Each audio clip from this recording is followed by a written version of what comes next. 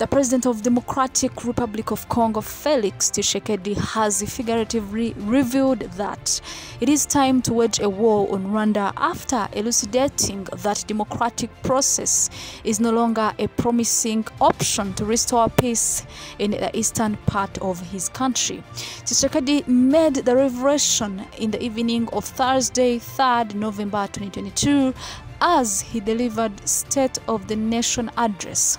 He delivered the remarks at a time when the fighting between Congolese soldiers and M23 rebel group is ongoing. Tshisekedi has called on all citizens, security personnel, and politicians, among others, to unite against M23 and defend territorial integrity. Tshisekedi said that the rebel group is receiving support from Rwanda in terms of resources and reinforcement troops. Congolese army in collaboration with the democratic forces for the liberation of Rwanda continues to lose bases during the ongoing fighting with M23 rebel group.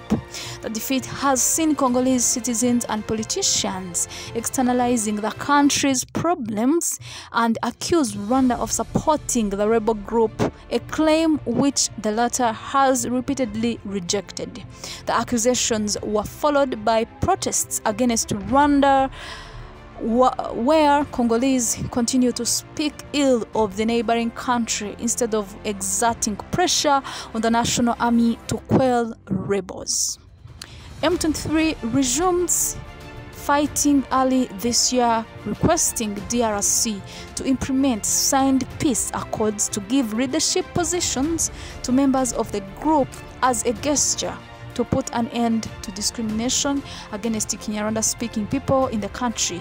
DRC failed to respect the peace accord signed in 2013, rebelled, rebelled M23 as a terrorist group and, re, and refrained from engaging in talks with its members.